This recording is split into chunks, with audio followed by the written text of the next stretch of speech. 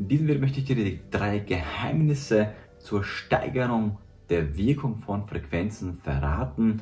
Ähm, ich bin ja jemand, der durchfrequenziert wurde, könnte man sagen, weil ich schon sehr viele Frequenzen gehört habe, sprich, weil ich sie auch produziere und danach auch immer wieder testen muss.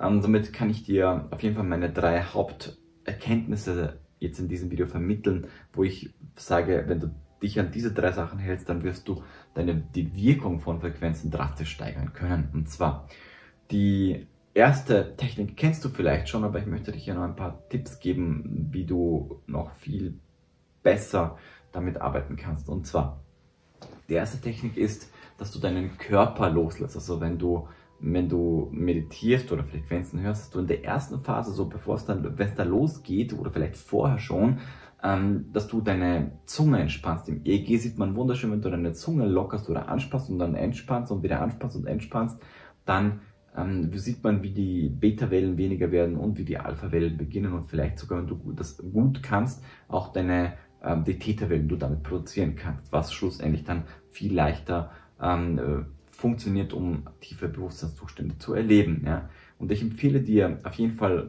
vollen, dich an folgende Entspannungstechniken zu halten. Und zwar entspann deine Zunge, entspann deine Augenmuskulatur, entspann deine Hände, mach vielleicht vorher so und dehne sie, schüttle sie aus. Dann dein Unterkiefer. Ich empfehle dir folgende Methode und zwar du öffnest deinen Mund und du greifst hier genau hier hinein, so äh, mit beiden, also du kannst es so machen oder wie auch immer, ne, oder so und drückt da dagegen und dann mh, mm, halt dann, macht den Mund dabei auf, drückt dagegen, gegen diese zwei Knochen, die so den Unterkiefer und Oberkiefer ähm, verbinden, ja, also hier hinein und warte so eine Minute und dann lass los und dann wirst du sehen, wie sich auf einmal hier dein komplettes Unterkiefer komplett entspannt. Und dann ähm, machst du noch danach einen Bodycheck. Das bedeutet, du legst dich hin und gehst deine ganzen Körperteile durch. Das kannst du im Blitzmodus machen, wenn du schon geübt bist. Das heißt, du, du legst deine Aufmerksamkeit in deine Augen, in deine Augenmuskulatur, auf deine äh, Augenlider, ähm, um, äh, auf deine Wangen, in deine Nase und gehst du die ganzen Körperteile durch, durch den Hals, in die linke Hand, rechte Hand und so weiter, rechter, rechter Fuß, linker Fuß. Und dann dehnst du dich aus, dann, dann gehst, wirst du zu einem Atom und dann dehnst du dich aus, da wirst du so groß wie der Raum und so weiter. Und wenn du diese Methode machst, sieht man im EEG wunderschön, wie auf einmal deine Frequenzen von Alpha runtergehen in tiefen Theta-Bereich hinein, ja. Und dann bist du schon äh, Grenze Delta und Theta und dann geht's richtig ab, ja. Ähm, und ich empfehle auch, dass bevor du Frequenzen hörst, dass du vielleicht so fünf Minuten vor normal meditierst und dich mal entspannst mit deiner Intention eine Frequenz dann auch hörst. Und auch vor körperliche Dehnungsübungen machst, ja. Also wirklich entspannen, äh, deine Schultern entspannen, dich selbst vielleicht hier bei den Schultern massieren und so weiter, bevor du dich dann hinlegst, ja. Also erste Phase sozusagen Körper loslassen. Zweiter Geheim, das zweite Geheimnis zur Steigerung von Wirken, äh, der Wirkung ist dein Mindset über Frequenzen.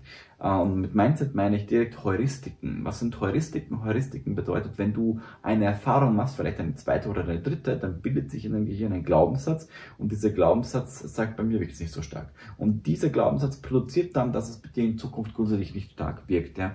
Das bedeutet, wenn du beim ersten Mal vielleicht keine gute Wirkung hast, weil du es vielleicht zu einer falschen Zeit gehört hast, weil du einfach an den Tag ein schlechtes, äh, einfach voll auf äh, Gamma-Wellen oder Beta-Wellen warst und einfach da grundsätzlich die Wirkung nicht gut wirkt ähm, ähm, oder du sie wirklich zu einer falschen Zeit gehört hast, dann, äh, dann und ein paar Mal vielleicht zur falschen Zeit gehört hast oder einfach nur ähm, grundsätzlich, ja, was auch dazu bei dir nicht gepasst hat, dann entsteht vielleicht eine Heuristik in dir und dann sagst du, na, mir wirkt das nicht so. Und dann wirst du jedes Mal, wenn du sie danach hörst, wirst du keine gute Wirkung haben, weil eben dein Glaubenssatz sagt, na, bei mir klappt es ja nicht, weil auf Basis meiner Vorerfahrung ähm, hat das nicht so stark gewirkt, ja, aber wenn du mit einem anderen Mindset reingehst und sagst, okay, ähm, ich lasse mich überraschen, ich teste einfach grundsätzlich von die ersten 20 Male die Frequenz unabhängig, also verschiedene Zeiten, verschiedene Zuständen, verschiedenen Mindsets, ähm, dann wirst du sehen, dann wirst du irgendwann das, die richtige Tür finden, diese wird offen sein und dann wird das viel intensiver bei dir wirken.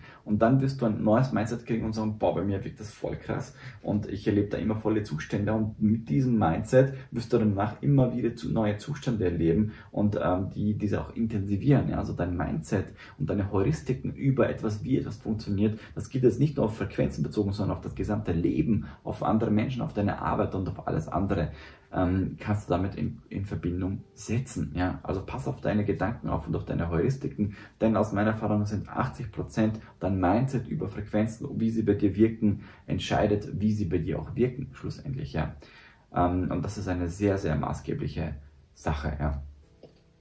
Kommen wir zum dritten Punkt und eines der wichtigsten Punkte, und zwar das Erreichen des sonnambularen äh, somnambularen Zustandes. Das heißt, du lässt in der ersten Phase deinen Körper los und in der zweiten Phase geht es darum, dass du deinen Verstand loslässt. Ja?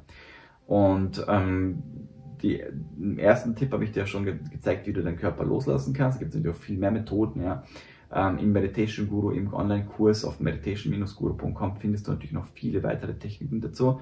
Ähm, und ähm, dann geht es immer darum, wenn du deinen Körper losgelassen hast, dass du in der nächsten Stufe deinen Verstand loslässt. Ja? Und wenn der Körper losgelassen ist und der Verstand losgelassen ist, trittst du in einen sonnenpolaren Zustand ein und dann wirkt jede Hypnose, jede Meditation, jede Frequenz wirkt dann komplett auf einem anderen Niveau. Ja? Äh, eine Mentaltechnik möchte ich dir jetzt erzählen und zwar dass du dir dann, wenn du den Körper Entspannungstechnik gemacht hast, dass du dir dann vorstellst, dass du Stufen hinuntergehst. Und du kannst aber auch zählen. Ich empfehle da auch das Geht 1 ähm, zu hören, das ist sozusagen die, die Einsteigerfrequenz. Da trainieren wir genau in diesen sonnambularen Zustand hineinzukommen. Und da gibt es auch Codewörter und Anker, mit denen du da hineinkommst. Ja. Auf jeden Fall, ähm, wenn du ähm, dann die, die Stufen hinuntergehst von 10 bis 0, ähm, dass du bei Stufe 4 dann stehen bleibst und dir dann visualisierst, dass aus dir heraus so ein schwarzer Nebel rausgeht und dieser Nebel symbolisiert dein Verstand, deine Gedankenmaschine, dein analytisches, kritisches, dein kritischer Verstand. Und diese manifestiert sich zu einem Kobold.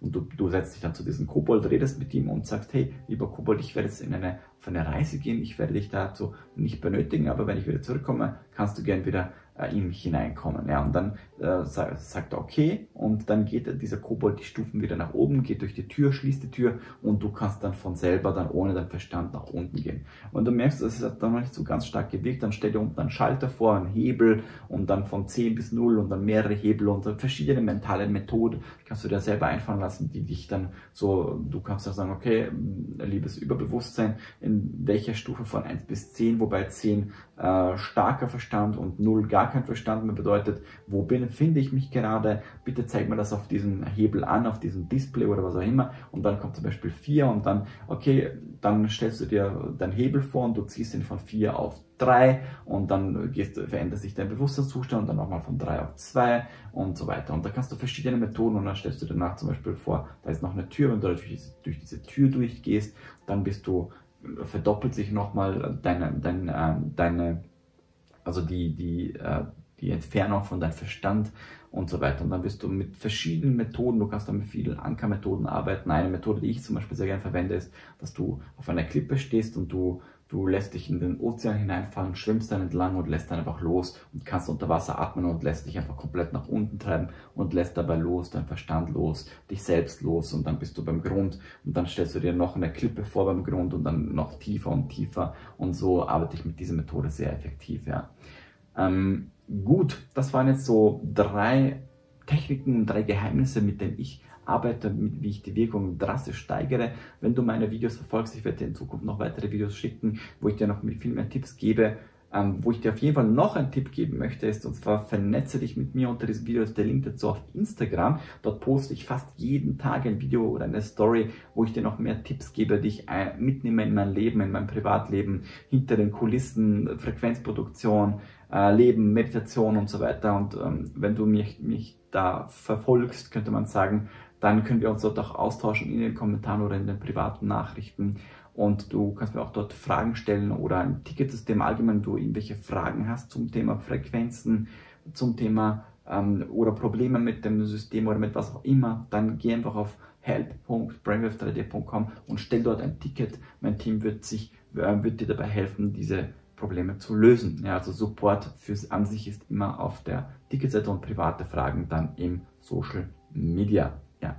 Gut. Also auf Instagram äh, würde ich mich irrsinnig freuen, wenn du mich äh, da abonnierst und ähm, du sozusagen dann hinter die Kulissen von Brainwave hineingeführt wirst. In diesem Sinne möchte ich das Video kurz halten. Ich bedanke mich vom tiefsten Herzen, dass du zugeschaut hast, dass du, ähm, dass du dich mit dem Thema beschäftigst, wer du sein möchtest, dass du herausfinden willst, was aus deinem Bewusstsein noch möglich ist, herauszuholen. Ja? Und das ist mein Anliegen und das ist meine, das, wo ich mein Lebenswerk dorthin gewidmet habe, meine, meine, meine Bestimmung, die ich selbst gewählt habe, dass ich dir dabei helfe, ähm, deine Zustände, die du erleben möchtest, ähm, dass du sie auch erlebst, weil das eine ist Theorie, was man so kennt von der Region, aber ich sage, gehen wir den Weg der Erfahrung und Frequenzen ist ein super Weg, wo man von Theorie in die Erfahrung geht und die Erfahrung ist das, was zählt, was dich wirklich bewegt und was